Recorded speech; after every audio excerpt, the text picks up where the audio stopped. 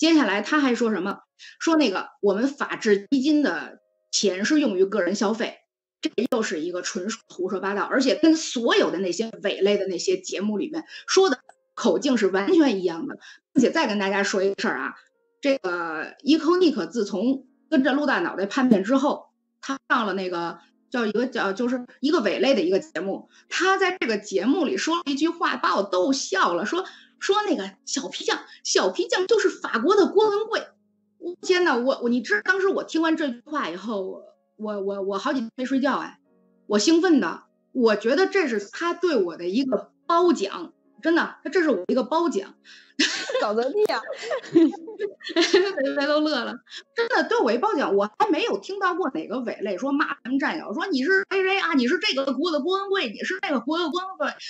我是我听到的，他第一这么夸我的，我的天呐，把我给美的呀！当时，结果你看没有？他现在 就差给我录个三节视频了啊！你看这这瞎话编的，真是无边无际啊！他说他没有收益，可是大家看了他之前那么多投资，如果他的投资他不退，他没有跟着陆大脑袋走，对吧？大家想想他拿多少？他作为法语翻译组的组长，我给他的币肯定是要相对多一些的，对吧？也事实上也确实是这样。那这么多的币是吧？这我印象中总共应该是拿到了八千多个。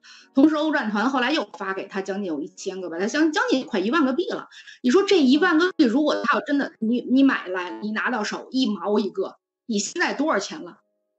这也是我给警察，我给警察我说，他说他没有收益，我说你你自己想想，这是我们一毛一个买的币。我现在多少钱了？我打开手机，我就给警察看，三十九。当时那那那个我在警察局的时候，那价金价格三十九。